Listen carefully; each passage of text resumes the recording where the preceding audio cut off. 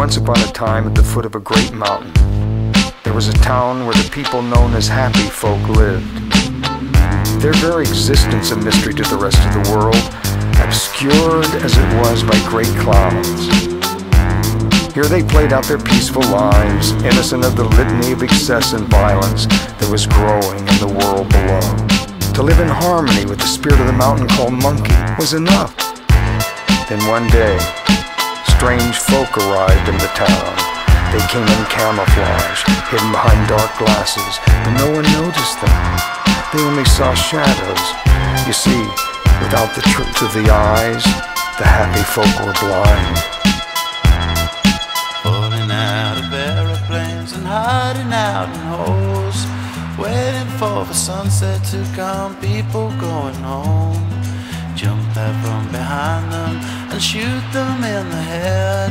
Now everybody dancing the dance of the dead, the dance of the dead, the dance of the dead.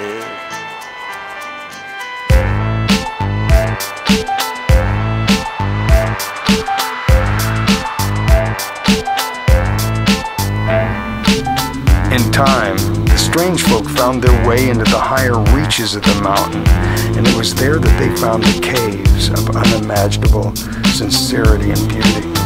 By chance, they stumbled upon the place where all good souls come to rest. The strange folk, they coveted the jewels in these caves above all things, and soon they began to mine the mountain, its rich scene fueling the chaos of their own world.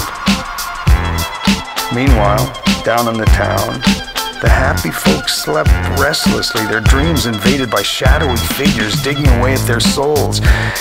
Every day, people would wake and stare at the mountain. Why was it bringing darkness into their lives?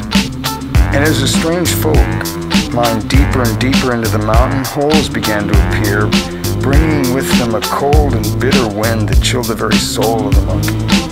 For the first time, the happy folk felt fearful, for they knew that soon the monkey would stir from its deep sleep. Then there came a sound, distant first, that grew into cacophony so immense that it could be heard far away in space. There were no screams. There was no time. The mountain called Monkey had spoken. There was only fire. And then. Oh, little town in the USA, the time has come to see There's nothing you believe you want But where were you when it all came down on me?